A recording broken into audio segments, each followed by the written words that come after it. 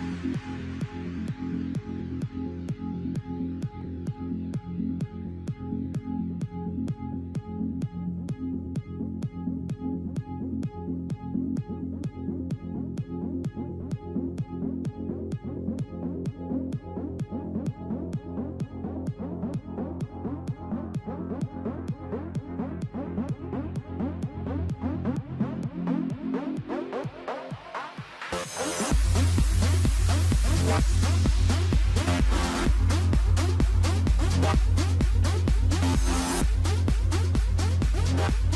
Fading that out now and ready to get started. Good morning, everybody. Good morning. How's everybody doing on this fine Hi Monday? there. Hey, Fantastically. We Remind me, why are we doing this on Mondays again? Because was your you idea. scheduled them this way, drill sergeant. That's right. yeah. It was it was your idea. That's of course. Hello and welcome to another episode of Office Hours where we'll be discussing all things Microsoft 365 and answering questions from the community. Uh, my name is Christian Buckley. I'm an Office Apps and Services MVP and Microsoft Regional Director. I'm also the Microsoft Go-to-Market Director at AvePoint. And joining me on screen so far today, uh, Mr. Eric Riz, founder and CEO of Empty Cubicle and an Office Apps and Services MVP based out of Toronto, Canada, our uh, 51st state up north. Thank, welcome. Uh, we also have uh, Mike Nelson, a solution architect with Pure Storage and a cloud and data center management MVP based in Appleton, Wisconsin. And Hal Hostetler, senior field engineer with Roland Shore and Tower in Tucson, Arizona, and always bragging about how much nicer the weather is down there until July, August time, time frame. Then we all must pity him. And he's also an Office Apps and Services MVP. And uh, he now he needs to take his personal call. So unprofessional. Wow. Answer Wow. your phone, Fletch. um, so, uh, so I believe we have Sean joining us soon. I don't know what happened to to, to Sean, but I, I actually have it on good authority that Mr. McDonough is unable to join us today. Yes. I s- he Okay. sent an email. all right. Well, well, there we go. Well, we might have some other folks jumping in. Um, who knows? If not, well, I've queued up all of these SharePoint questions that Michael just have to handle on his own. Then. uh, yeah. Well, what else is going on? Any any huge news? I mean, anything from the message center, Mike? That's like huge. That's like huge. It's all huge, Christian. Yeah. uh, It's. Would you like me to run through my list? yeah. Yeah. Let's let's uh, let's kick things off. Yeah. Let's do this. Um, so the first one is from the Let's Add More Confusion to Our Feature Naming Department at Microsoft. Um, they have now taken tasks by planner and to do the name, and it is now shortened to just tasks within Teams. So uh, I don't know whose bright idea it was to call something task by planner and to do, um, but now they've come down to their senses and they're just calling it tasks not to be confused with like the 20 other apps that they have tasks uh, in. Um, but this one is specifically around Teams. So ne- I'm I'm assuming that next it's just going to be reduced to the capital T. It very well could be, yeah. It- Actually, that, I uh, believe that's reserved for the logo on your shirt, Mr. Buckley. ah, Uh, yeah, that's true. I, I but- believe I've seen that particular character somewhere before. Oh, wait, there it is, right there. there you go. All right, uh, moving on. Uh, Teams, you can now create tasks from Teams chats or channel posts. I don't know if anybody knew that, but that's coming. Um, where you'll be able to actually take and create a task from something in a chat. You'll be able to right click on a on a chat or hit that little um, uh, three button uh, thing on a chat and be able the to ellipses. Yeah, well, it's not really an ellipses. It is a bit It's of the vertical ellipses. yeah, yeah, yeah.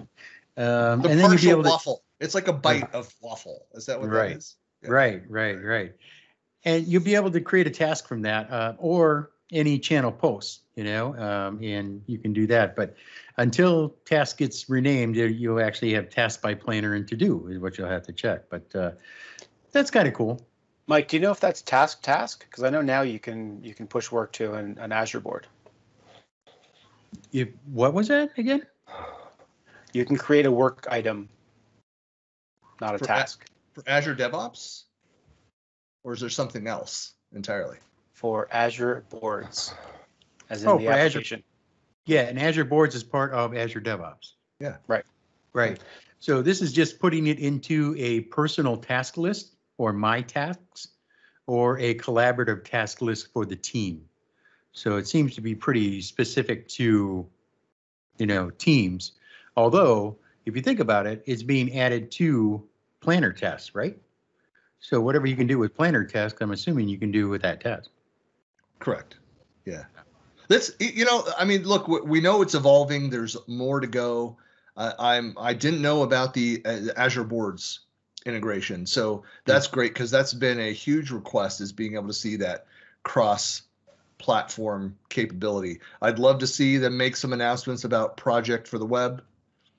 Um, Somebody Yeah. still uses that? Oh, okay. yeah, there's still people that are out there. There's still project MVPs, but it Yeah. was. But again, you're going to have that out there. But like, to your point, I, that's valid. If if it's not integrated with the other tools, then you know, I mean, the reality is for people that are professional project managers, planner, and even DevOps don't have the features, don't have the capabilities that you need in the desktop or project for the web. In fact, project for the web doesn't have the capabilities that the project MS Project desktop app have.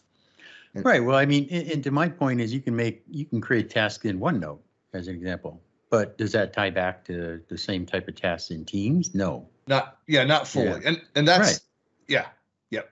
You almost you almost need to have that ability. There needs to be like a tasks uh, uh module in OneNote and you know a- anywhere else that you're going to have as a you know creation of tasks. I'd say in Outlook is another example where things happen and you want a, a, you know a certain percentage of uh, of AI capabilities to automatically identify and is this a task? Do you want to create a task? You can do some of that now but to be able to push it to the relevant location, like Right. a planner board, a DevOps board, just a to-do personal to-do list, whatever that is. Right. Right. Okay. Now that Christian has taken up most of my time, Mr. Chairman, I reclaim my time. You have as Um, much time as you need, Mike. Mike, as always, I yield my time to you. So please Okay. speak freely. Uh, Po- point of one- order. Point of order. Okay, go ahead. Uh, this one comes from the someone at Microsoft is wondering if anyone notices department. Um, that. This is the, from the M365 Defender, threat protection status report will take over as a standard reporting email now. So you used to be able to do like safe attachment, save, uh, safe attachment message, uh, malware detected and a spam detection report, all separate reports. Well, now they're being all put into the threat protection status report. Can anybody tell me anything they notice about that name at all? No, not getting it. that sounds like a trick question. Well, what it is, it's what you if you take the report, I mean, you're getting a TPS report. Oh, see, there it is. There it, Yeah. it was a trick question. That's right. The TPS report is now available from Microsoft. So it's just uh, everybody wants to Which know that. Which which cover sheet does it have it on it though, Mike? I'm, it I'm telling you, I'm telling you, somebody, some engineer at Microsoft is laughing right now about Oh, yeah. this and just wondering how many people are going to catch it. You mean a former engineer at Microsoft? okay, so now we're going to move on to this didn't end well department. Um, Microsoft Authenticator code matching. I don't know if you remember, we talked about this. And what it was was the ability to turn on code matching in the Authenticator app. Um, so for users and groups. So all they needed to do was match the number on the sign in screen with the number in the app. I think I talked about this like a week or two weeks ago. Yep. Well, now, bad idea. We're are evaluating changes based on feedback, and we will not be moving forward with this. Uh, I have an assumption, and I kind of backed up this assumption, taking a look at the user voice uh, this morning, is that uh, there was a flood of security folks who just had a field day with this thing. So uh, Microsoft is going back to the drawing board on that. Um, and also the same thing as planners, new roster containers. I, I think I we talked about this, and I remember Sherry Right. was on the call Yep. as well. Guess what? Yeah, not going to do it. Um, they will not be giving out roster containers. Um, they evaluated feedback and will announce a new plan. So, you know, and for the third, Well, third, Could, could I just say that that it, it, it's it's good that they're taking the feedback and they're responding Right. to stuff. But Right. then it makes me think it's like, should you share have shared a little bit more in advance and had some conversations with it prior to moving forward? Well, before you announced it publicly, I mean, that Right. kind of just makes you look bad, right? It's kind of like the, the next one I'm going to talk about here is you remember we talked about the new service plan for Teams called Teams Pro? Yes. Remember that? Which Guess is what? yeah. Teams Pro is no more. um, they have decided to rename uh, Teams Pro to Teams for E E3E5, Teams for A3A5, and Teams for BSBP. And I don't know what BS. Teams for BS. Think about that. Um, to align with respective packages, commercial licenses. So Teams Pro, as the you know came out, um, just didn't stick well with people, and they decided to rename the whole the whole thing. So they're getting rid of that. That, I know. that And that was the, the, in that respect. I mean, they're adding new features. They even said as part of that initial communication, like there's it's not a new plan. It's like they're adding some new features. Then why did you message it that way? Why did you even call it Teams Pro? I mean, it, it doesn't make sense. So people were all confused. They went up in arms like, ah, I got to buy this license. What do I get? You know, with free? What do I get? You know. Right. Yeah. It's just, Microsoft it- occasionally has issues with names. Yeah. Changing them. yeah, it just good causes reason. confusion. I guess I lost the bet on that one because I was voting for, I mean, my money basically was on Teams for Business. It follows the standard and the practices. Teams for everything else business, Pro and Pro Plus. Exactly. And, E7 yeah. Right. Exactly. one. So I've got one, uh, two more to do, and this one is around Teams again. Uh, Webinars Plus. Okay, so guess what? Webinars Plus new meeting registration options. So now Teams is finally jumping on the ba- webinar bandwagon. Remember live events? Well, now they're actually coming out with the the uh, component or feature called webinars. uh, I, this is another confusing thing to me.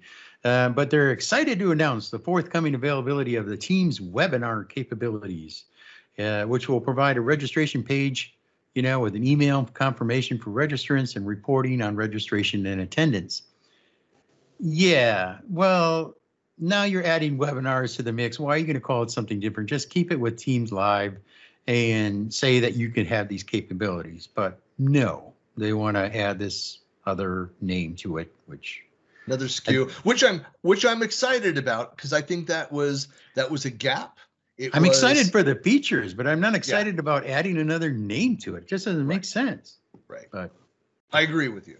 it should have just been Teams Live and have those, and it's either a yeah, in, in within the enterprise uh, versus a public webinar type capability. right, right, right.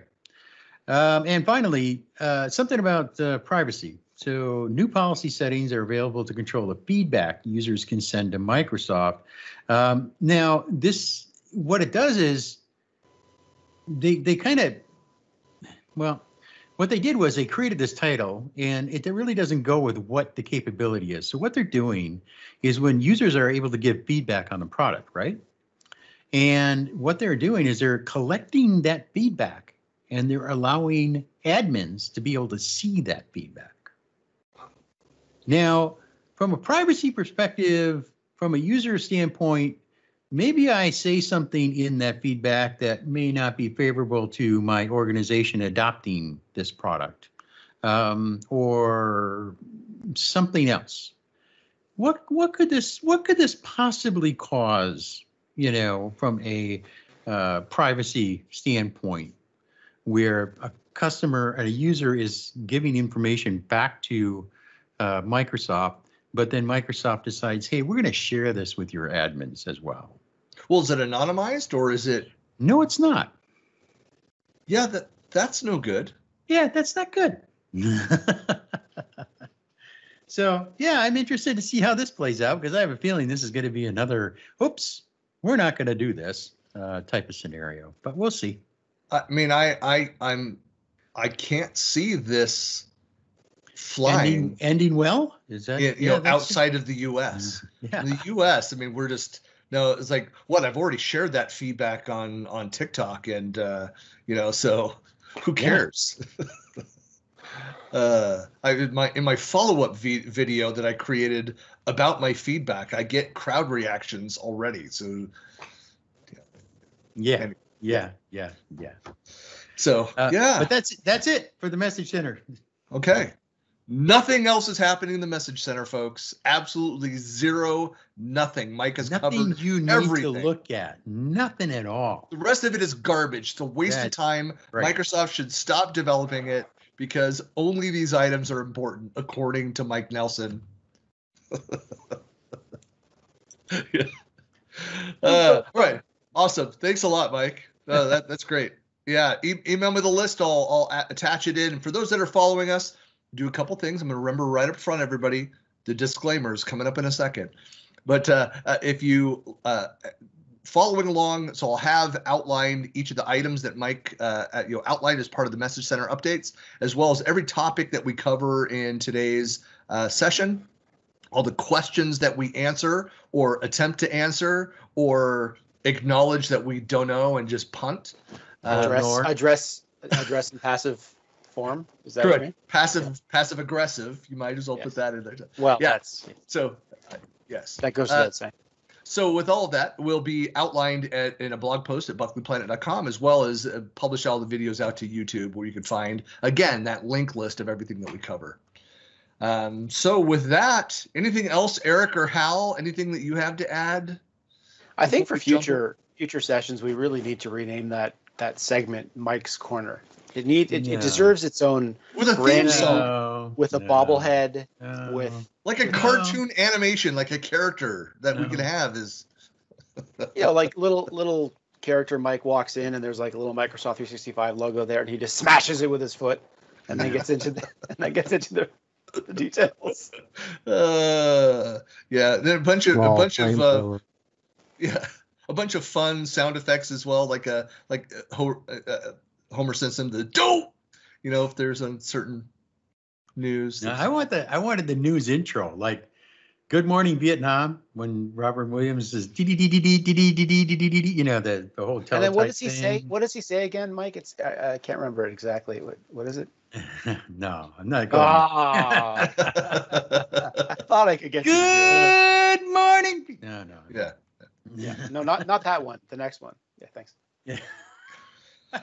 alrighty then. Okay let's jump in. Why don't we just uh, spearhead this uh, bad boy with uh, community question number one. Allard asked this question has probably been asked before but i can't find it. I've done several sharepoint courses and it's time to get things rolling. But at my company they have shut down the most beautiful sharepoint additions power apps power automate flow etc and it's mainly used as an intranet i want to dive deeper but the question is how would microsoft sharepoint plan one give me all the possibilities to train my skills The more, I, that's the first time I've ever heard SharePoint features called beautiful. That's the first time I've heard that. that was in the marketing no that was in the marketing oh, for- I'm sure. go back to jeff teper talking about how beautiful sharepoint would be you know but um but that's I, you know that it, it it's always frustrating with an organization that you know right or wrong and in my estimation mostly wrong locks down everything in an organization and goes with the bare bones of what they're paying for. And so people within the organization they want to learn. They want to go and develop their skills and add more business value to their company. Yes, but but there's always a but. We don't know, and there was no explanation in in the question there never Who- is who or or where where this individual works. Right. So you, you always have to take it from the strategic perspective of is there value in providing users with all those features if they work in an organization that truly does not need them. And so rather maybe the We'll person say sits that he's a cashier. He's a cashier at Taco Bell and wants to learn more. exactly. I, I would infer though that, that, that- and I don't know much about the SharePoint plans, but I'm assuming that SharePoint Plan One will give you the basics, but it's not going to give you anything advanced. I mean, that is the basic plan, right? SharePoint Plan One. I don't even know what the plans are anymore for the standalone, honestly, um, around Yeah. it. But but my first thought is, look, you have the demo environments, the free environments that are out there, Um, so any user can go and learn by using the, the, the demo environments. And so to go and sign up for the, the free demo and use that. And that's full functional. It has all of the licensing. It has dummy data within it. And you can do everything and learn. So if any any training, whether you're following along on a YouTube video or you're doing a, a paid courseware, you know, like you can leverage those demo systems and have everything that you need. And I think that's just demo.microsoft.com, Uh, isn't it? Or demo.office.com? I'm not sure which one. I think if you do demo.microsoft.com, you'll find it. Just Yeah. you can just put in Microsoft demo in the search, and you'll be able to find it as well. Yeah. But And then, if you have a, if yeah. you have a, if you have a Visual Studio plan, a Visual Studio subscription plan, like the old MSDNs, that comes with it. So you can get a, you know, so if you have that capability, I don't know, I, I don't know if they do or not, but yeah, just be aware that those demo environments they do have a lifespan on that, and you will. Uh, you know, you can always go in and you can request as you're a couple days away from that. You can go into Microsoft support and request an extension on that. I'm not sure how long they they do extend if requested. that was every 30 days. Okay. So I thought it was like a required or new request every 30 days. Yeah.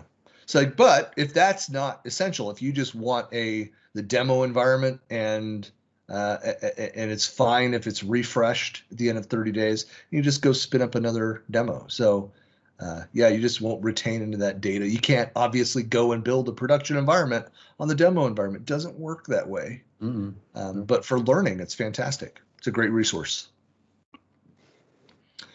All right, question number two. Uh, Brad says, I'm new to setting up Microsoft 365 and I recently discovered the mobile app on my Android device. I'm able to sign in, but why is there this warning when I open the app about updating Microsoft Intune and Authenticator? I have not set these up in Azure. I believe that it's, I mean, he's setting up 365 and by default, um, it, the, uh, mobile device management MDM is enabled for anyone who connects via Android or, um, uh, Apple iPhone. Yep. iPhone. iPhone. iOS. Okay. If you connect to a tenant that is an M365 tenant, you connect to it, there are default policies in place and those, one of those global default policies is for you to um, be able to, it prompts for a registration of the device. It doesn't require you to, but it prompts for a registration of the device to your organization. So I don't think it's, it's a warning. I, I, I I mean, I understand he's getting that warning, but he shouldn't get it every time. I mean, you should be able to just tell it no, and then it won't do that. The only thing I can suggest is that he go into M365 and find out if MDM is actually enabled and what policies are set. Um, because it shouldn't keep prompting you. If, if you say no, it should not. I, I haven't, I haven't had that happen. Yeah, similarly, I, I had it when it was newly set up, exactly And authentic, yeah, Authenticator is only uh, presenting itself because of the password policy that's set. So password policy allows you different options. One is, what is it? Uh, um, question and answer, question and response. Um, so it asks you three to five questions or whatever. Um, the other one is an Authenticator app. The other one is SMS. Um, you know, there's like five, four or five of them, and depending on which ones are checked, um, it's going to prompt you to install that Authenticator app because that's one of the four or five that are allowed for password authentication. Excellent. Thank you, Mike. See, I'm good for something. Yeah, something. Yeah, today. Yeah. well, question number three Christine says, When I'm trying to send Teams link from Outlook, I keep getting a message at the top of the address bar that says, Invitations for this meeting have not been sent, and the email is just not sending. Any ideas what may be causing this issue? I'm sending a Teams link. So, Teams meeting? A Teams link. So I'm assuming it's either a link to a team to join a team, or is it a Teams meeting? I don't know. Lots of questions on that one. Yeah, yeah, it, it, it is. It, it's not making sense to me. Um, it's not been sent. The email is just not sending. Is it stuck in her outbox? Is it, uh, you know, is it not even That's a getting good to her question. outbox? Yeah, I mean, I- I don't, we need more information on this one. Yeah, that's, I, I- you know, I think even having a screenshot of what she's Yeah. doing or, s- or seeing, you know, it might just be, eh, you know, the wrong information in the wrong place i- in the screen. I'm not sure. Yeah. Yeah. Well, I'm just, I'm, I'm just taking it back to what she said. I mean, Teams link from Outlook. So is that a team email address that it's just not recognizing for some reason? Is it internal? Is it external? It might be the share to Teams button. Yeah. Yeah. So there's yeah that you see folks that that's why we're it could be a number of different things the way that she's describing it. That's why have having a screenshot or being very specific with what Yeah. what it is, you know. So I, I want Yeah. to make it, yeah, we need more information on this. Um, but before we move on to question number four, I have to ask Christian about his, his new decorations in his office. Because, Are, I they are they new? Mike, are they new or are they just replenished? they're replenished and they're, they're kind of, you know, put out there as a, I mean, everything is clean now for some reason. I don't understand. It's like, it's like it's, it's, it's actually, somebody went in there and maybe took a, a couple of trash bags and kind of just, you know. Christian, Drew, I- please explain your cleanliness. I say it was clean before, thank you, Mike, but cluttered for sure. and after after months of my uh, wife complaining about it, who is a designer, and I said, "Fine, you do it. Like do it your way. Whatever I do is not going to be good enough. You do it." And she fell And- for that? And she did it. Wow. So I just like to I, I like to point out that so she so she went through and decorated so you know everything gone off the top across the board Yeah. except for the Buckley Planet, and other stuff that got shoved in in cabinets and things. I'll point out that I took Baby Yoda and I put him elsewhere in my down here in the basement, over by my music gear, over by the window, and she put it back. So. Hey, I think she gave me that that one piece that is is me. The the rest of it, I mean, I had uh, you, you probably can't see it, but I've got like the George Washington kneeling and praying, Yeah. but with his horse. Yeah. That was just on a different wall. She moved that over there, and uh, and then she pulled my. I've got some collector's editions books and things, and she pulled the dust covers off them because she thought it looked better. It's you a designer. It's I a- know, You know, know. it's a visual thing. And this But- is really, this is really cramping my OCD here, dude. Yeah. Is behind you, you have four rows of MVP plaques and the last row only has one and it is totally out of proportion and it's driving me crazy. Well, you know, it'll be a little bit more balanced here in a couple more months with the next one. So yeah. Wow. You know, it's just a matter of I I know. I so Mike, in my OCD as well, I thought about that. Like, how can I configure this? Unfortunately, you know, I didn't want to go two rows of five all the way down with the others still showing up, and I just have to reconfigure again anyway. So mm, Well, in in the meantime, uh, Mike's going to send you one of his. So yeah. two, two of yours, just as placeholders, Mike. I'll ship them right back. That's that's cool. I'm not gonna I'm pro- I'm not gonna get one next year. Uh, you know, so you know I'll just take the one that I get this year and I'll send it to you. Oh, yeah, awesome. Yeah, so it's uh no, I'm I, you know, honestly they were all stacked just on a shelf, not on display, and that was another thing that I'm the one that put them up there, measured and got them all aligned, but it was my wife telling me that to put them up there. So Why does everything look blue?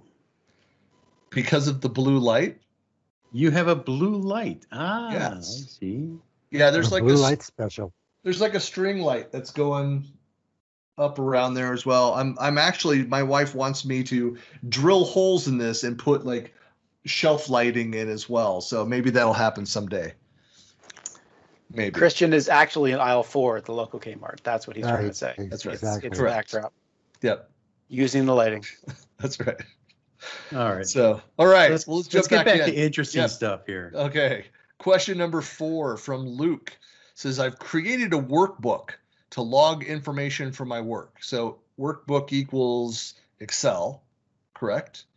Uh, Yes. in this, I had a notes section that I could log all conversations I had when I had contacted a customer.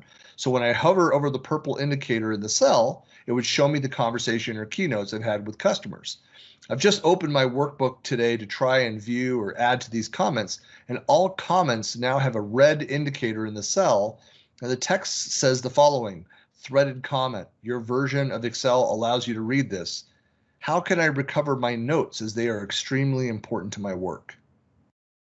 The, yeah, the rest of that comment goes, it allows you to read this, but any edits you make will not be saved.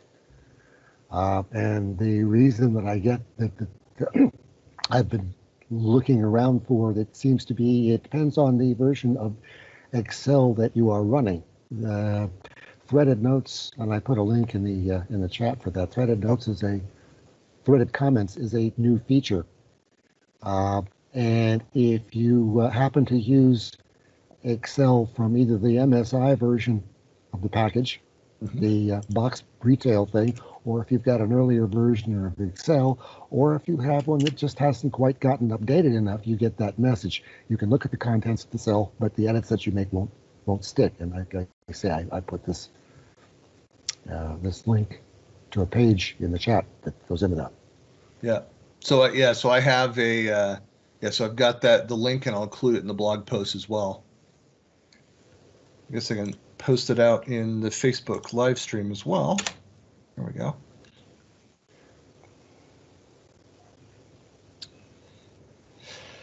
Excellent.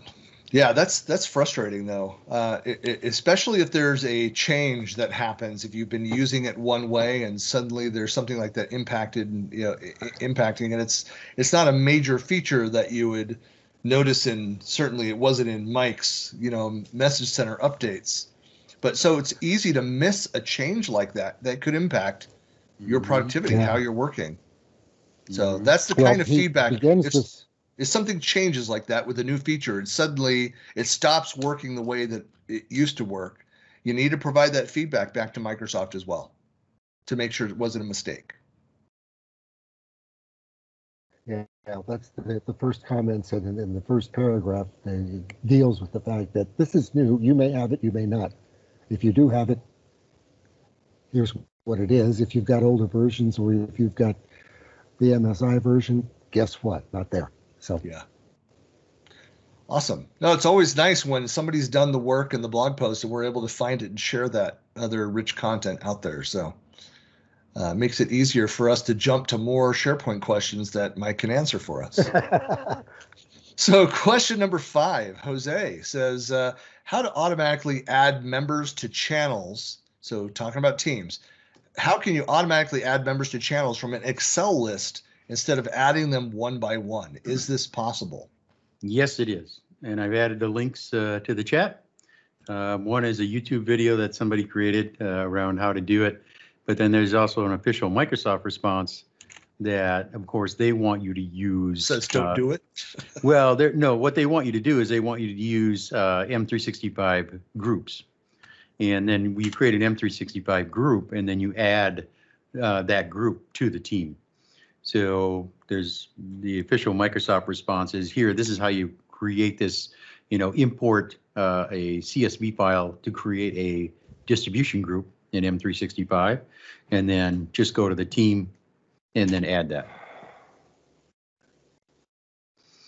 So instead of importing them directly into Teams, they're saying it's better to create a group because you could use, you can utilize the whole group feature then, you know, inside of 365, which makes sense. Right. Well, cool. All right. Well, I've shared both of those links. Thank you for those uh, over in the uh, live stream feed as well. And we'll jump to question number six. Uh, Megna says, can someone tell me what are display pages in SharePoint Online? Display pages. Any Don't- relevant don't- Microsoft article would also help. This was a question asked in an interview. How Right. can you customize search using display pages? So just thought of checking here with experts across the globe. That was that was an interview question. Yes. Why? Sounds like sounds like a trick. Well, kind yeah. of like kind of like, and I'm going by assumption here. Megna's name is actually Megan. I'm just spelling it how I'm this person wrote it, It's but I just agree with you. a shot in the dark. So Megna, if this question sounds like yours, and Megan, it sounds like yours too, it's likely the same question from the same person. So is this is this? Let me think about this. So Yeah. Customizing a search using display pages. So are they talking about customizing the search results? That's what I was thinking. That's what I was thinking as well. Because I've never heard of any, and I'm not a SharePoint person, as everyone knows. But I have never What? heard the terminology. But you terminology. play one on TV once in a I while. know, I know, I know. Um, but I've never, doctor, doctor, doctor, doctor. Um, I've never heard, I mean, display pages, what, I don't, that doesn't ring anything with me. Well, that's why I was. I, I kind of jumped to the same thing. It's like I think it was a test because they're not a thing. You're Yeah, testing for for you to push back and say, "Oh, those are not a thing." If you're, Yeah. I mean, because uh, honestly, if there's anything that's real in the SharePoint world, there's a hundred blog posts on it and videos everywhere. oh, yeah. A day. So if That's you how can't find it, out there, Right. If, if you can't find it, it doesn't exist. Even brand spanking new capabilities, there's Microsoft content on it. There's something out there. You'll find discussions out on tech community and elsewhere. Yeah, I would think they're, they're looking at a custom search result page because you can create those. Um, and that's easy to do. I mean, there's actually a page here on docs.microsoft.com and how to customize, you know, a search results. But There's tons you of it. you need right. a display there's tons. page, right, Mike? yeah, Yeah. So there's tons of info on that on search results displays, reporting, uh, uh, different angles depending on what it is that you're looking for, but nothing that's called display pages. So words matter, people. Sounds more like slang than anything else. You know, if you refer to it internally as a display page, a page which surfaces results for you, then that's what it is. I'd say that it's just the kind of question that Megna, a person named Megna, would ask. Megan would ask for search page results, search page displays. You know, there's nothing wrong with being dyslexic, Christian. I'm just throwing it out there. Okay. Thank you. We poke fun, but we do it out of love. So, We only really poke fun at each other, though. If you play the tapes Yeah, back, you see yeah. that it's all yeah, very mostly. familial, if you will. Mostly. I think when there's angry responses, I think everybody here would agree with me. They mostly come from Sean. That's true. sure. He's not here to defend himself. That's Uh-huh. right. That's right. We, but we would say the exact same thing if he was here, That's true. Yeah, Yeah, yeah. yeah. and he and he would go like this. Yeah. Question number seven from Onyx. Uh, does anyone have a good place to start learning more about Azure for beginners? I wish to learn if it's worth utilizing Access and Excel with Azure, uh, or if there's a way to do everything I need through Azure alone. So I had a, I, I, it was going great for the first part of, that question un, until he got to the second sentence, the, the second part. Yeah. Because uh, Access and Excel really don't have anything to do with Azure unless it's an authentication thing. You know, there's, uh, are you talking about M365, I'm assuming? Um, you have to understand there's a difference between Azure, okay, which is the public cloud provider and authentication backend for Microsoft 365, which is the application side, right? It's the it's the online office apps. It's the you know all the things that we talk about in this this uh, podcast. Yeah. Um, but there's there's not a lot of correlation between the two unless it's authentication. Can I also just point out that if you're a beginner and you want to learn more about Office 365, don't start with Access. yeah. Yeah. but so let let's say that just the first question there, like, like Mike, where do you advise people like that want to go and learn and and just get started? Kind of where do you point them?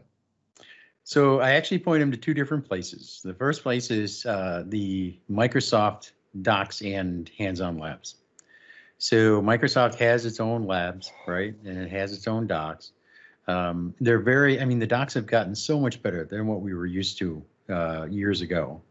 Now they're written by real people, you know, and not they don't Not go those through fake people that Yeah. work for Microsoft. yeah, they don't go through robots and in the, the the folks that want to inject marketing and all that other kind of fun stuff.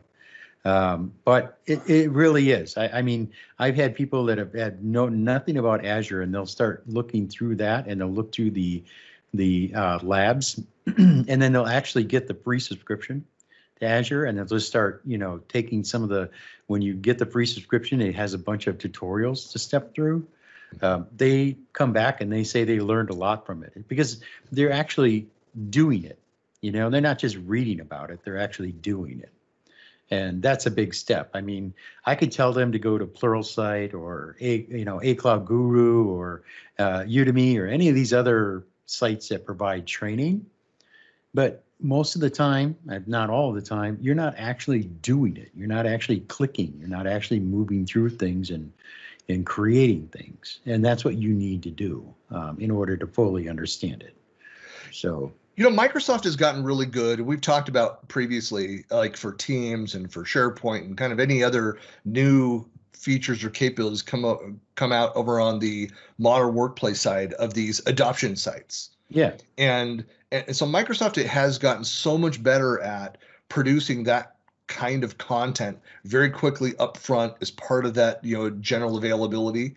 And then kind of what we were talking about earlier is like go to demo like you have the demo site. You Mm. have the ability to pay zero to go in and get full featured access in a limited basis limited time but these demo tenants tem- demo environments. So you can try everything and kick the tires right. And I mean, I've had people come back to me and say, "Well, I don't want to pay for this." After after they started to learn it, they're like, "Oh, my free subscription, you know, it came to the end of my free subscription, and now they want me to go switch to pay as you go or whatever." That's not true anymore, right? Free sub lasts forever now. Anyways, they they come back and they're like, "Well, you know, I don't want to pay for this," and I'm like, well, you're starting to learn it, right? And if it's something that you really utilize, if it's something that is going to benefit you, is going to benefit your profession, it's going to benefit your work, then I don't see any reason why you don't pay for it. I mean, a M365 um, home and family subscription is 99 bucks a year, and that gives you up to what five or six people, I think it is, um, that you can add to that subscription. Why? I mean, you're going to use it, right? I mean, and then there are other plans that are out there as well. But I mean, from an Azure perspective, pay as you go. You're only going to pay for what you use. So I always I always seem to have that that discussion after they started learning. They're like, "Oh, I I love this free stuff. I want to keep getting this free stuff." Well, they can't keep giving you free stuff. I mean, that's not how that's not how companies make money. So yeah. Well, it's uh, well, I, I, you know, I'll end it on that. That's uh, that's a great, great point. Let's move on. Yeah. All right. Uh, question eight from Bick. All day, every day, I use the preview. I think Bick stops to eat, to shower, to occasionally sleep. So it's a slight exaggeration. Just read the Very words, good. But I'll Just move read on. The words. All day, Oh every day, I my use the preview option in Explorer Vic, could you? What, files. what Christian's Yes. saying is, Cri- Vic, could you just confirm that you you do other things over the course of your day? I think that would really please. There goes my internet. Anyway. Oh, oh, All right. So all day, every day, I use the preview option in Explorer files. In the past, I was able to move from document to document. PDF, Word, and Excel all would preview with no dramas. Now I am getting a preview of one or two before I need to close down and restart Explorer for the preview to work. I've spent time and, and money with my IT guy only to be told this is a new feature Microsoft introduced. allowing only a certain amount to be previewed. This is truly slowing my productivity. How can I stop this happening or when will Microsoft fix the issue? I don't know if anyone else is having this issue.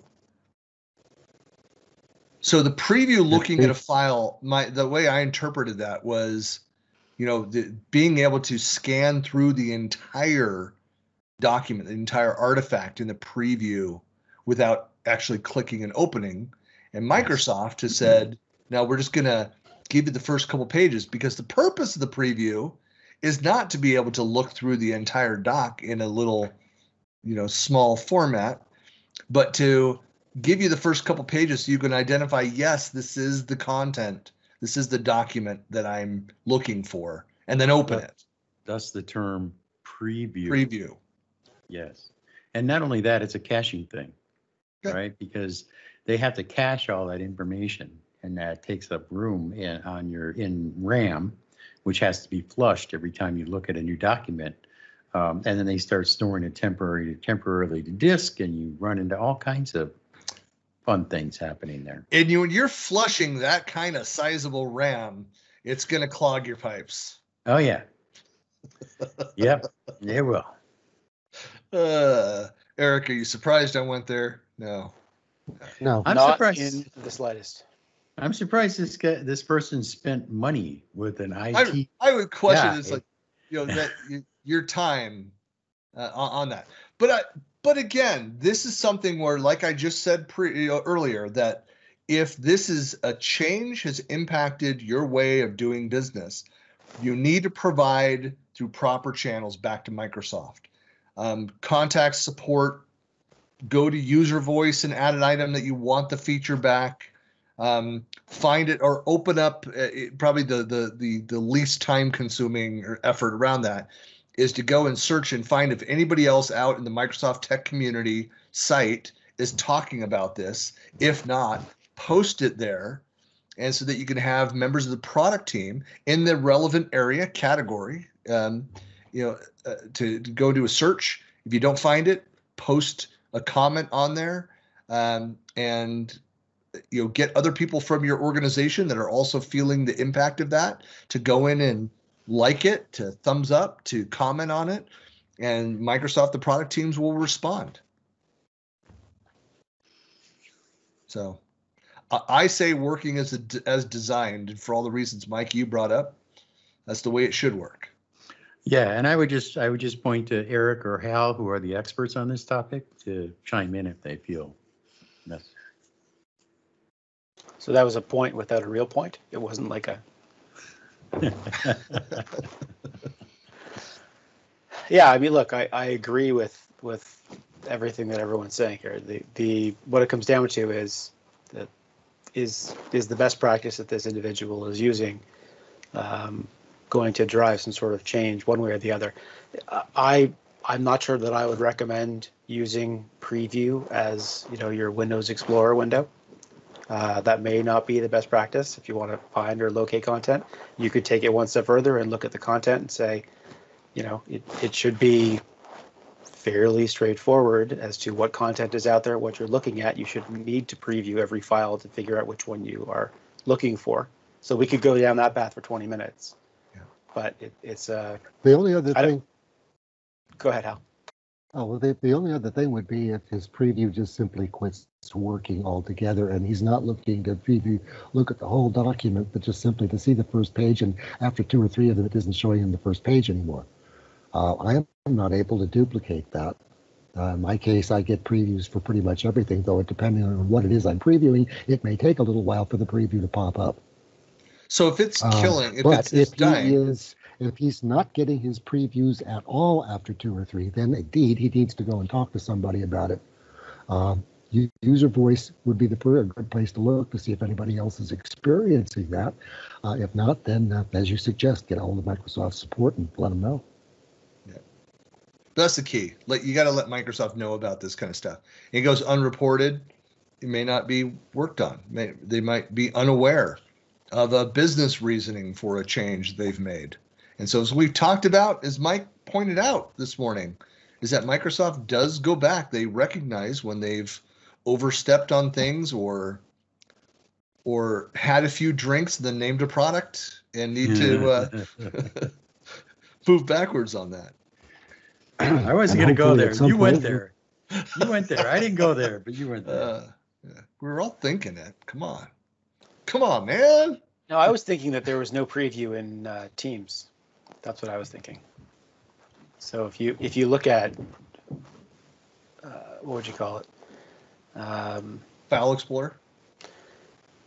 no, I was going to say next generation. You know what they're building.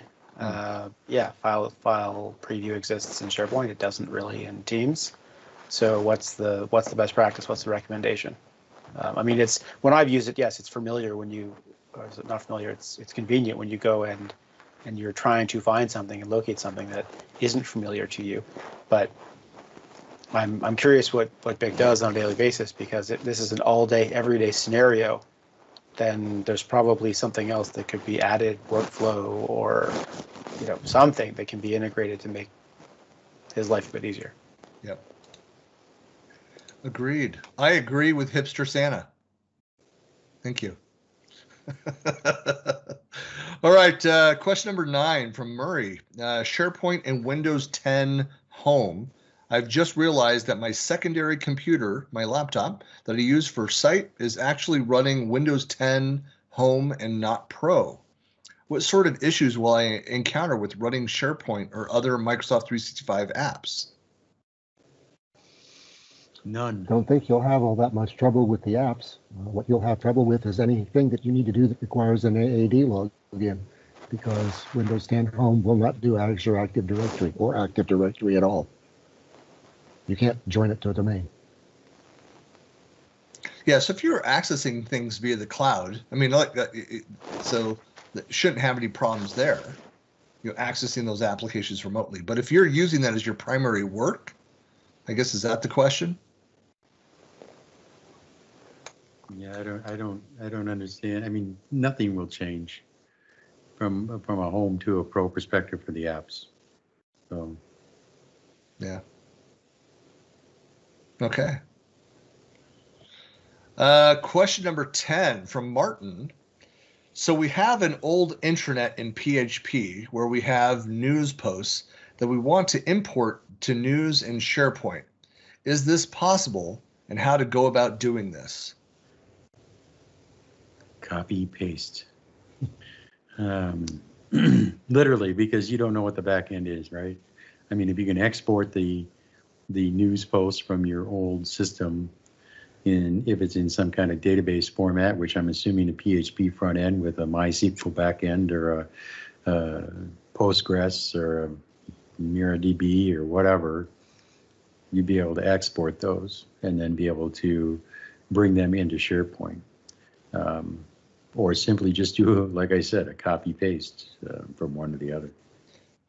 So long, long time ago, um, you know, I knew that you know, some of the third-party vendors, the ISVs, had solutions that would also go and help automate that process. But honestly, I've not looked at it in a long time. No, there's too many variables on the on the old on the old side. Yeah, You know, there's just there's to cover all of them. If Yeah. you have a tool that covers them all, no. Essentially, all that it would do is pull the content. I don't know if even how it handled images, but it would, you know, so you define the template to move that stuff into, and So- it would go and it's just a slight modification of copy paste one by one manually. screen scrape. So just Yeah. scrape, scrape the screen and put it. Yeah. Yeah. So, uh, you know, but there was a way to, so these the, the tools, the migration tools, were able to do some of that. So that that could be an option if you're talking about. Depends on the volume of content. Because the other thing to think about with any migration, and and it would be resolved with the screen scrape method as well as you're going through that old content. Not all of it you're going to want to move. So you, if you can automate it and do it and and not have to think much about it, and it strips out all of the you know links and images and but just post the content so that you have it from an historical perspective and the search capability it's like having an archive um, then I, I you know i don't know if the third party tools do more beyond that and but you know do do you care is half of that content really just slowing down the performance in your environment and is really not worth migrating over a migration, whether manually or automated, it's an opportunity for you to go and clean up. And there's a lot of value in cleaning up from time to time. So performance wise, make sure that there's nothing, you know, I, IP that's out there where you're just, you know, convoluting good content more up to date content with old content, which is outdated and should be deleted anyway. And so use that opportunity to go and scrub. So I don't know, Eric, anything that you would add to that? Because you've done a few of those migrations. I have. Um, I mean, not really. I, yes, I could go on for a long time about it, but I think you hit all the main points there. That and I have to jump to a 12 o'clock meeting, so Yeah, no I've worries. excuse myself. Excused. I see Thanks a Hal lot, going, "What? 12 o'clock? It's it's not even 10." nine yet." here. I- Yeah. All right. Thanks, guys. All right. See you Thanks a lot. Take care. Bye. All right. Uh, question number 11. Um, now, and, and gentlemen, of course, now if anything goes wrong with the program from here on out, it's Eric's fault. It's his fault. Yeah. That's right. Well, yeah, and I got to go in a couple minutes too. So you guys are going to run this show by So yourself. that's that's fine. Well, let's uh, we'll we'll we'll take them and and uh, you know anything goes astray, you know what'll happen. yeah. Um, so let's see. So number 11, Zeke asks, uh, may I ask what business standards or other Office 365 tenants use in implementing DLP? Do you create for every template in Office 365? Actually, just using the compliance center in M365 will help you with this.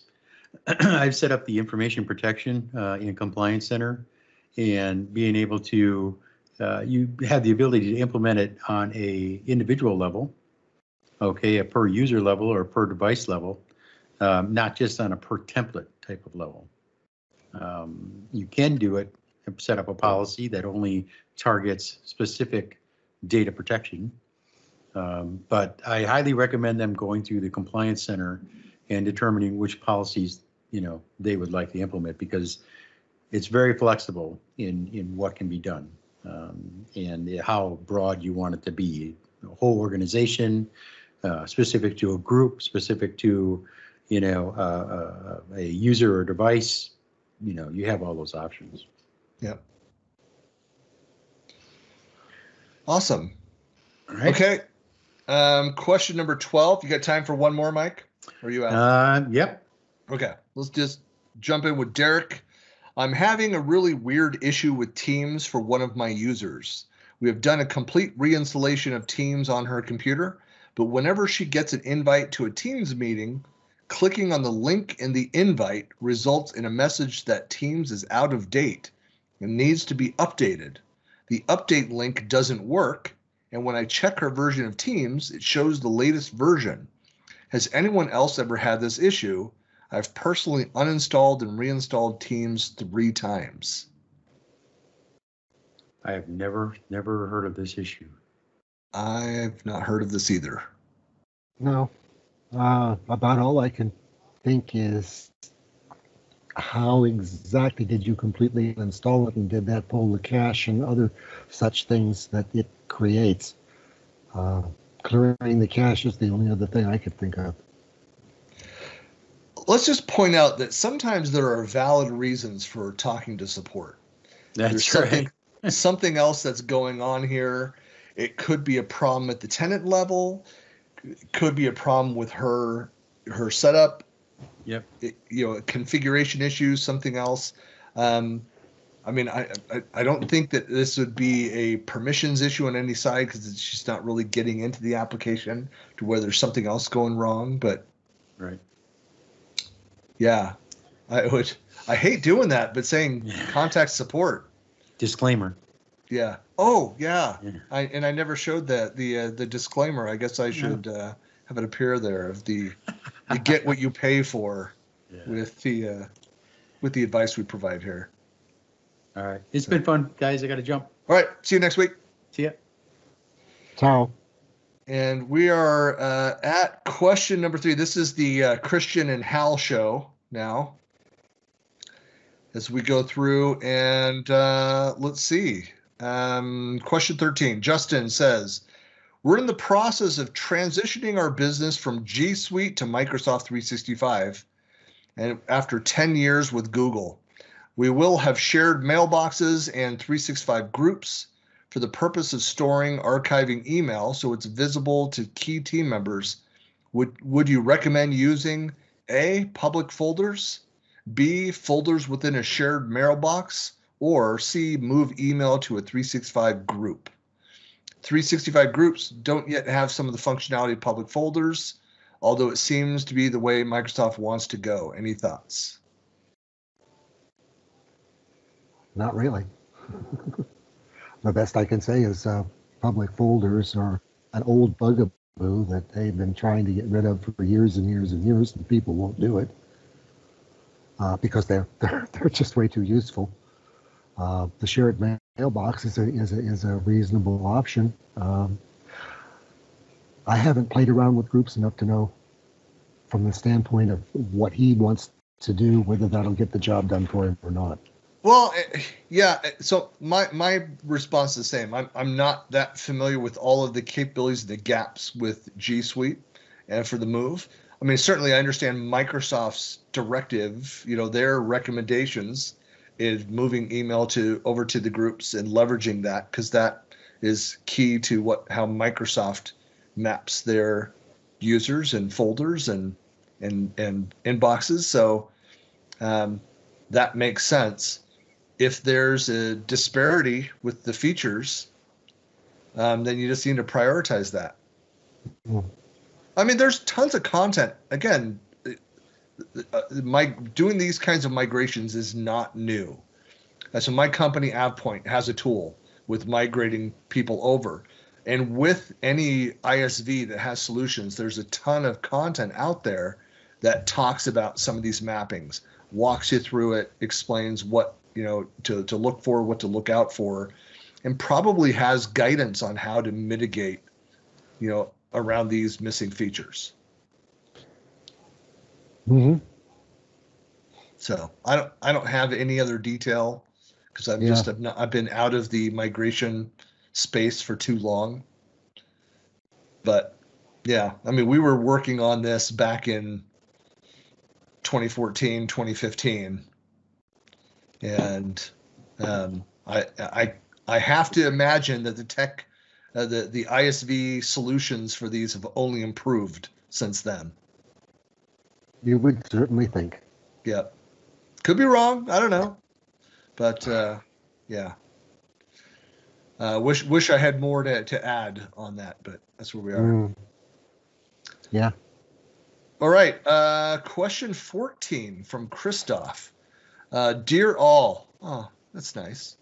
Uh, unfortunately, this is German, uh, so it's been translated. All right. Since last week, we fortunately got the share to teams feature within Outlook. Worked out quite well since today. Now this screen shows up after trying to share an Outlook email to Teams saying you need to change to Teams to approve this function. After clicking it, switches to Teams with the account pull down, upper right opened, but no matter what I do, I don't get this sharing function to work. Any help is greatly appreciated as I've been waiting for this for a long time. So uh, I do understand. I've not gone and looked at it um, and played with it uh, extensively. Uh, that there were some issues. I don't know if this is something that's been resolved. My this was a known issue that Microsoft was working on. Um, so maybe by the time here we are talking about it, and it's been a couple days since this was posted, that it may have even been resolved. Um, but this is something that I mean, I I would how I would go and try and resolve this without calling support is you know again do a search. There's been a lot of discussion, other people reporting this issue, and go into those threads and see if they've resolved it or if it's something that's a known Microsoft issue that is being worked on and follow those threads, follow those discussions if you don't find all these things, again, this is something that you need to let Microsoft know so that if they have not resolved it, that they know that it's uh, you know more companies are being impacted by this, and you know the the more numbers that we have of people that are experiencing an issue um, helps increase the priority for any of these issues. Absolutely. So I really haven't uh, played around with that one all that much either. It, uh, it, it sounds like it's a feature that they're trying to get functioning correctly or having a few hiccups, as per most things on Teams, it would seem. At least that's certainly been my experience with new features. They uh, they show up, they work, they show up, then they don't work, uh, then they go away, and then they come back, and maybe well, they the other, then. the other issue too is that you have so many configuration options. I mean, more so in, in, in Outlook than over in Teams, where Microsoft has been trying to standardize these SaaS platforms. Um, but there's still so many different options out there. There's, there's something that's been a you know, configuration or something else within your environment, your company's environment, that is causing the issue here. Again, that's another reason why to provide feedback back to Microsoft so they can look specifically at your tenant, um, your user profiles, and and see if it's something that is unique or is a re- repeat of what they're seeing elsewhere, for them to be, able to provide guidance.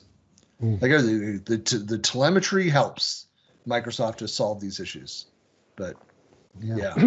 It'll be interesting to see what direction they want to go from user voice, and as much as that This is hey, this is a big feature. I, I've been wanting this feature for a long time. Like like a lot of people, like I've been doing the kind of the manual process of going into a channel um, and grabbing, copying the email for that channel, going back, forwarding emails from Outlook over. So having the button is just easy. You could still do Mhm. that manual process if it's not the button is not working for you. So there's a workaround for that. Um, but um, yeah, provide the feedback back- to Microsoft. Hmm. I yep. All right. Um, 15. Vivek says, Hello, team. Has anyone configured MS Teams group membership dynamically using another AD security group or mail enabled security group? Microsoft 365 group membership provides dynamic membership queries, but does not provide any rule or query to map any security group. Any other way if someone has achieved it or from Power Apps? Oh, I have no clue. This is beyond my scope of stuff Yeah. that I've played with. it's yeah My- me neither so i think we we you know what we may on some of these that we're just not the right personnel for this we might hold until next week hal Yeah, I think that's probably a good plan. so i'll highlight this one so let's um how are you on iis Uh, not that great. all right i'll hold that because some of these i had specifically added for mike and sean to help Mhm. with here um So here, here we go. So uh, 17. Uh, Gail asks, we all have E5 licenses. However, some staff who are organizers of meetings and record can only download the recording. It does not go to their stream. I am one of the lucky ones that can see the recording and stream, and I am in IM&T. Whatever that is. Is there a setting somewhere that determines if staff can view the recordings and stream? Well, you know that it, so the recordings are now um, so they're downloaded to SharePoint, and so any, you know you record that depending on the permission of the the meeting. It should be right there in the meeting's notes, i- you know, in the in the conversation for that meeting, and everybody should be able to see that. So I guess my my question would be, you know, is there, you know, within your your tenant and your environment, is somebody moving them back? You're still saying you're still automatically seeing them over in Stream. It, are you sometimes seeing it within SharePoint, the new experience? Are people able to see the recording there in the in the conversation, but when they click on it, they're not able to view it? Like, I guess I have too many questions on what the actual experience, what the issue is here.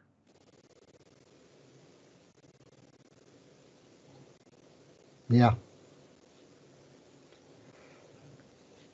Yeah, because the the way that it works now is that you know, uh, so I believe it's by default. I don't know if there's anything that you manually have to do to switch that over. The classic you know, uh, way that team would do it, it previously was automatically capture that within stream. So if you wanted to download or view it, you'd go over into the stream capability. Now by default, it's within SharePoint, and there are benefits to that for the managing of those those assets. Um, and you have to then move that over into stream as part of that that experience. But uh, I don't know if that's something that you have to do uh, manually or if some users have you know selected that option to remain using in stream or not. Um, but that might be part of the discrepancy. I don't know. I, you know what? Let me let me take this as uh, as homework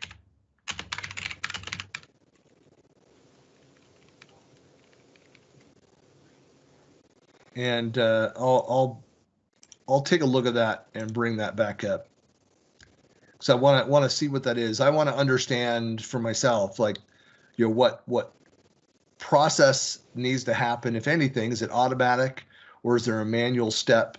Are people able to, uh, you know, remove themselves from that normal like shift over to SharePoint and remain on stream? And what that user experience looks like? What happens if you know the two of us are both using teams. You do a recording. It's available in the thread. I push it. I my default is to stream what that experience looks like. So Yeah.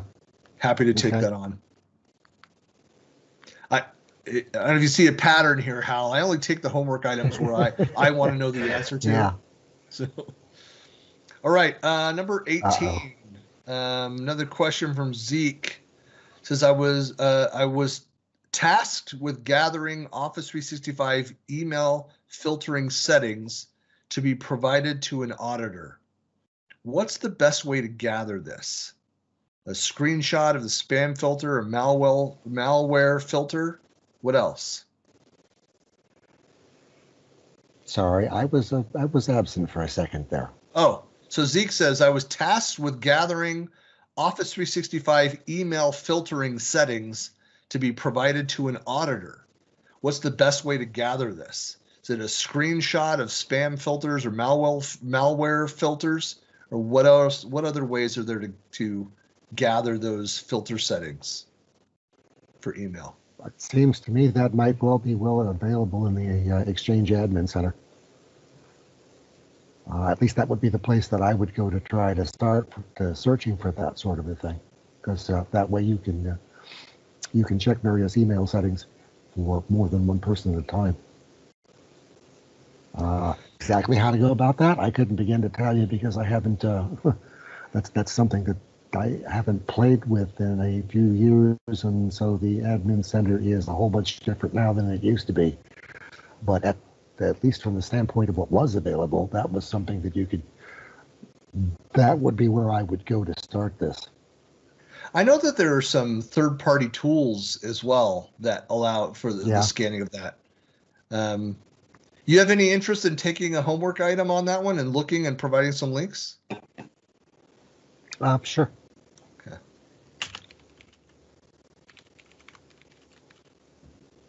Yeah, because I, I think there's a few different options that are out there, but I agree with you. I'm not familiar with what's been updated in the admin center. It may all may all be there. Right. I'll I'll send you a reminder on that that task. Okay.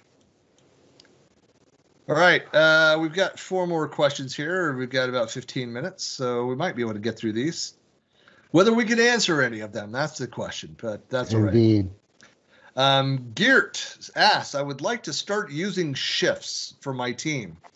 We need to, that's one of those things that I've been meaning to go and set up. I've been using Yeah. uh, Calendly for years, and I've been wanting to make the shift to shifts for teams.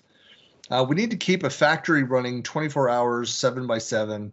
I have three maintenance guys staffed, one morning, one evening, and one night shift.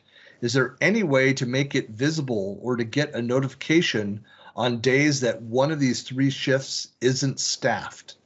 So when one of these three guys has a holiday, it should be visible. Now I'm using Excel and conditional format to make this visible in a color. Okay. Well, I myself have not played around with shifts enough to know whether or not that's that's feasible. So that kind of sounds like a little more explanation exploration is necessary. Well, it, yeah. So I'm not familiar either to know if the, if shifts is it connected to the personal calendar of those individuals. Because if there was that integration, if they were linked up, then you would think that it Yeah. changed my calendar, my availability. Otherwise, if it's more of an island, like I would need to go in, if I own one of those shifts and I'm going to be out, whether sick or vacation, that I would need to go in there and make that modification within the shared calendar so that it was visible elsewhere. Yeah.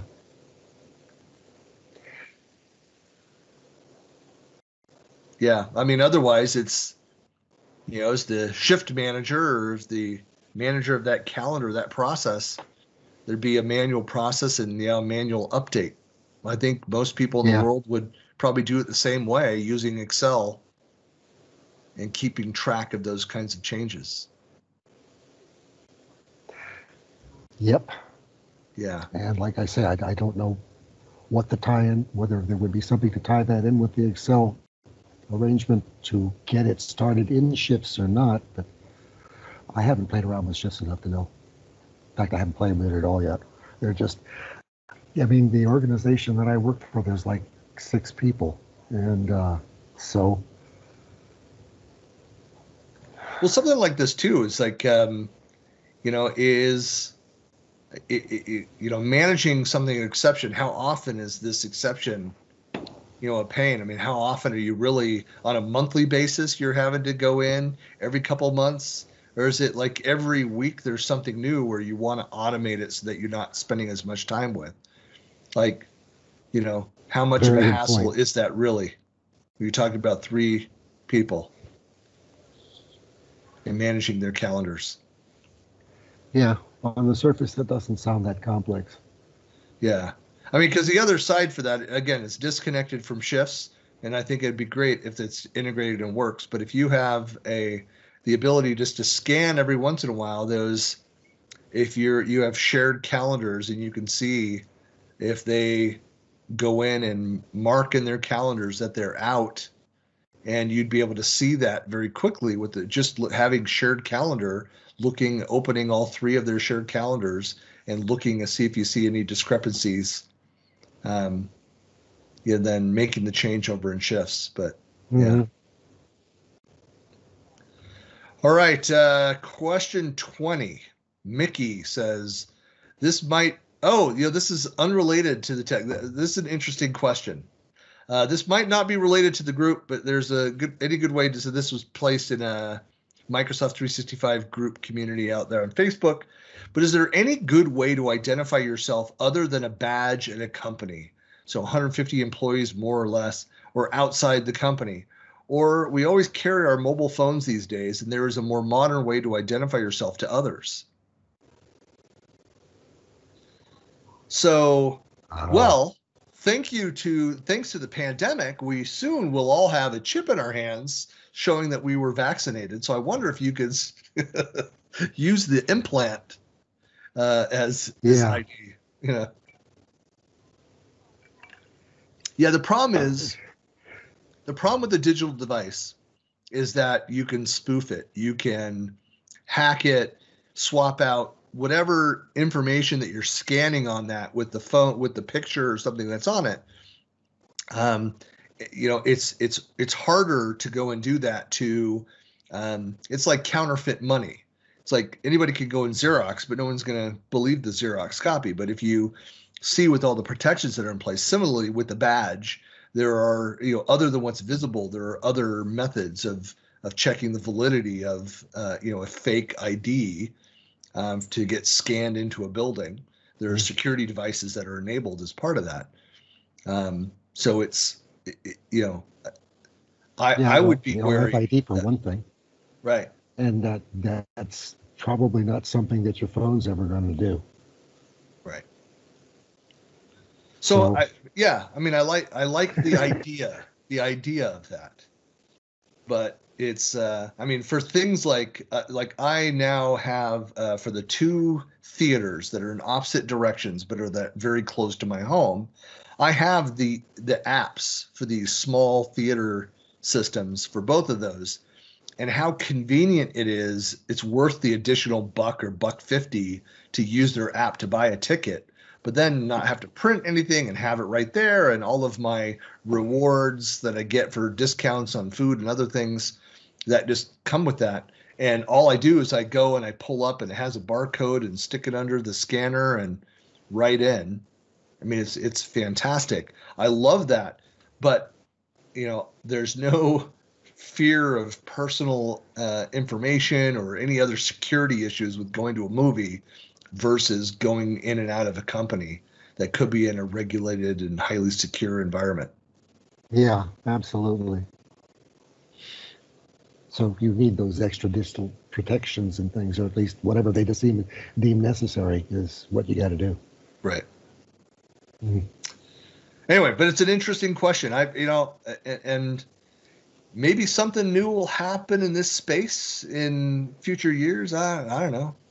You know, you can always you think like we have you know multi-factor authentication, and maybe they do something right then and there where you have the ID on your phone, and then the system sends a secure encrypted link to what should be that person, and they have to enter a, a code or something. So there might be some MFA type thing like like there, but it's not going to be a simple scan in. So Yeah, well, they might build an eyeball retinal scanner into your phone someday. You That's what I want. tell. that's what I want. Use my phone and put my eye up to the scanner. Get right in. Very Tom Cruise Yeah. Mission Impossible esque. Yes.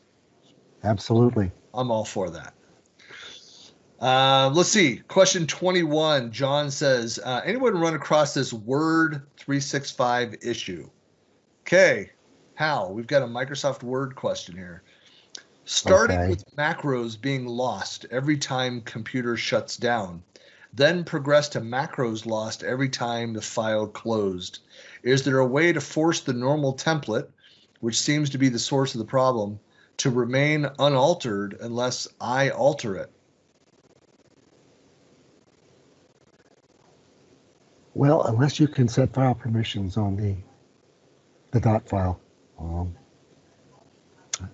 and I believe that you can. I'm sure that I wouldn't know exactly how to tell you what to do, but it seems to me there's a way of setting permissions on that file so that you can't be altered by anybody but you. Hmm. And that's the uh, normal dot dot template. And or you could have something that simply restores the normal dot dot template every time. You know, a new day once an hour or something like that if it need be. That's kind of blunt force and silly, but that would certainly work. Yeah. Maybe I'm just missing something here, but like what I've used a template that had macros long time ago, past life. Um, if I made modifications to that, my first step would be to save it under an original file name or a, under an, a new template name so that it wouldn't be mixed up with the original template. Is there something on the system that's pushing changes back to that standardized template? So wouldn't renaming it then put that defense in place? It would make it yours by being original. Well, if I'm understanding what he's saying here, that's that's Word's startup. It looks for you know a, a specific template to start up with. You can customize this to suit whatever you want. Um, what he wants to do is to not have those customizations put in by people thinking, oh, okay, well, this would make my life simpler, so I'm going to change this particular feature of the template so that it automatically comes up. I don't know, whatever way he happens to want it to. And well, okay, so the next person that comes along or anybody else that's familiar with Word, that's just simply not going to work the same. Or in this case, what's happening is he's he's losing his macros and things like that because someone I would guess from the way he's written goes in and changes the template. So, yeah. the only way to prevent that, and that's just what Word starts up with. And I don't know that you can tell Word to. st- Well, See, I was the reading other thing, this a little bit differently. I'm you saying can start Word with a template that you choose. I believe. See, I think it's one thing to be able to stop people from changing a template that you've modified and created. That's one problem. So I'm confused by macros being lost every time the computer shuts down or the file is closed. Yeah, there is that. That's a different That problem. sounds, that sounds more like a more like an install or or a damage or something's not happy with Word. Yeah. So if you rename that, rename that, you know, I, I don't know if that solves it or not. If you still are losing it, you know, after that, there's something more fundamental going on. That's a, I hate to say it, a support ticket. Yeah. Yeah, because I've never seen. Uh, And it's Word I've never seen 365. So it's, it's. It's the cloud version of that as well. Yeah, maybe it's just something that's happening around it that you and I just don't understand about it. We're just Yeah. not up to date on. I would agree with that. Yeah, but that that- that doesn't sound like healthy system. I would involve Microsoft so they can look kind of under the covers and see if there's something going on with your profile or with your uh, with your license with your uh, with your tenant for that Yeah. environment. So, yeah. Yeah, and again, I was thinking of the local versions because that, that's that's where I always start with being Right. involved. I do for Word as have well. been. It's Yeah. it's uh, I think of the local client before I think of the online. Yep. Agreed. And so that would be a good specification for him is to let us know whether that is the online version of Word or the desktop version of Word because Yeah. they are different. Yep. And I'm assuming he's saying Word 365 that that's the cloud version. Yeah. Okay. All right, so the last one, I don't know if either one of us will be able to provide much much of an answer. You much of a Power BI person? Uh, no, unfortunately, not yet. Yeah, I think we're gonna. I'm gonna hold this one off until uh, until we get the bigger crowd in. I, I I know that I I don't know the answers here. I think this is something that you know Mike would have an answer for too, because it's getting in and talking about um, Azure SQL, you know, or the, storage methods and Mm, recommendations there. So. yeah, But it's all right. We're we're just about at time anyway. So, uh, you know, indeed. thank you, Hal, for your time again Monday, and thank you everybody for watching.